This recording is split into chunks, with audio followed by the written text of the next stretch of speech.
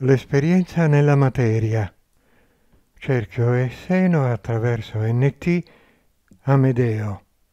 Coraggio, figli, coraggio.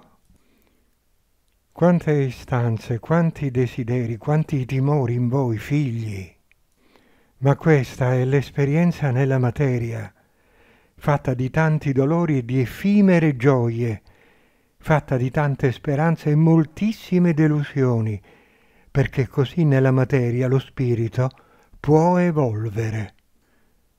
Perciò sappiate apprezzare e godere delle piccole positività, delle piccole gioie e sappiate altresì affrontare i tanti dolori, i tanti dispiaceri che la vita vi pone perché ricordate, ogni piccolo passo fatto nel dolore e nella speranza disillusa è un piccolo passo per l'evoluzione.